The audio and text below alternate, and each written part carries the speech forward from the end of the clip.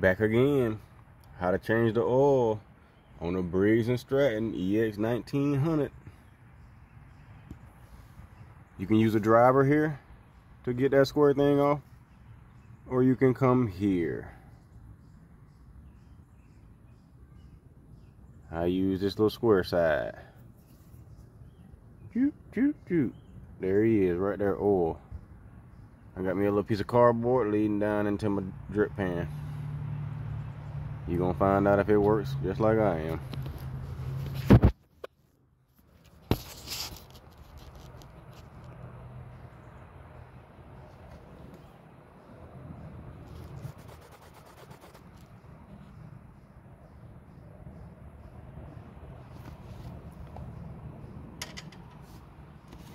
don't want it to run all over these cords. I'm gonna try to keep them out of the way. Try to push this back in there.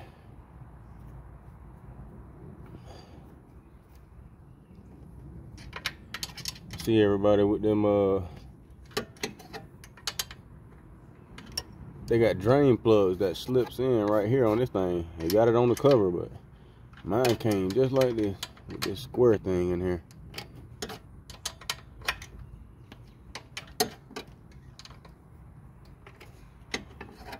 It's coming out though.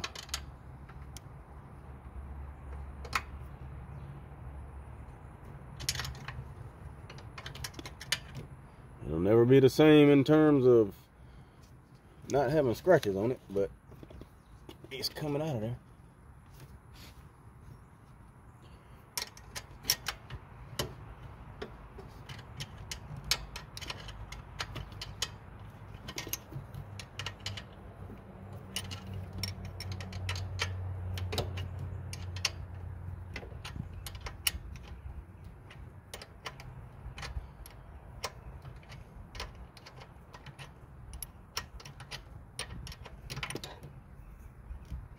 There she blows. Getting a little bit on the side, but hey, it's coming off right down into the drip pan. As you can see, even what's dripping off the side. A little cleanup, so got the cores out the way. It works. One thing about this machine is, look how black that oil is but it kept it. It's due. But strange thing is the oil um, oil filters on the other side.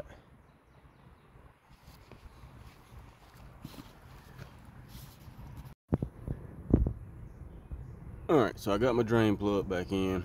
Got the oil up from here. Ain't no oil right there. It just looks like that because it's shiny and the rest of it dull.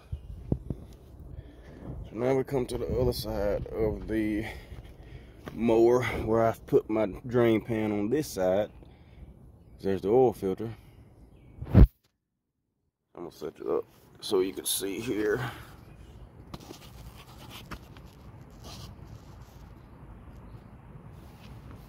Okay, too tight. Let's try something.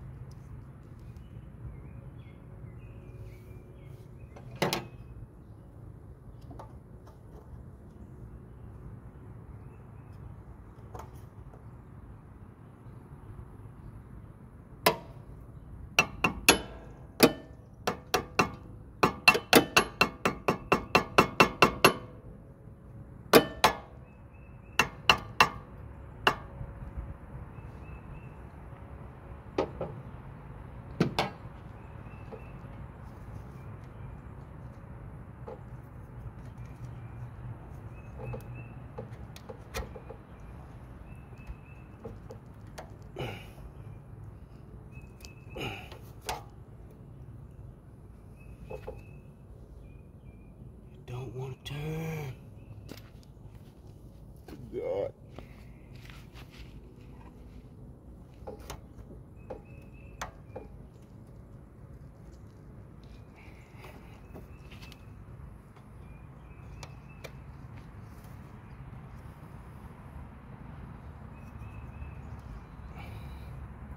It's really awkward getting up in there.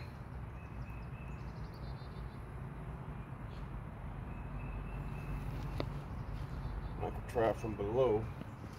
It's moving, but it ain't budging. It really looks like it's moving. I don't want to break anything. That's that would be, you know, defeating the purpose of everything. but it does look like it's moving. Gotta get some leverage with this top orange one. It's hard to move it because of this cord, these lines. It is moving. Come on.